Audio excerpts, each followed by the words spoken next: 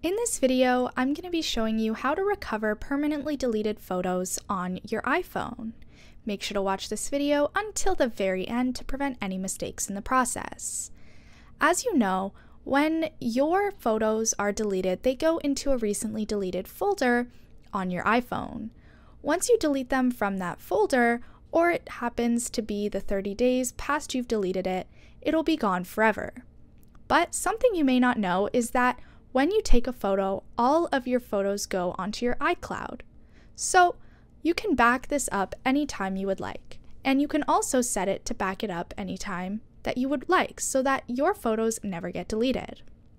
All you need is an Apple ID for this, so make sure to set up your iCloud and all of your photos will go into there. And once you're done, you can access it through your iPhone or your laptop or any device that can connect to iCloud. Once you open up your iCloud, you will be able to log in and see all of the photos that have been backed up, even if they were deleted from your recently deleted folder. That's all we have for today. Make sure to like, comment, and subscribe to the channel. I hope this has been helpful. Stay tuned for more tutorials.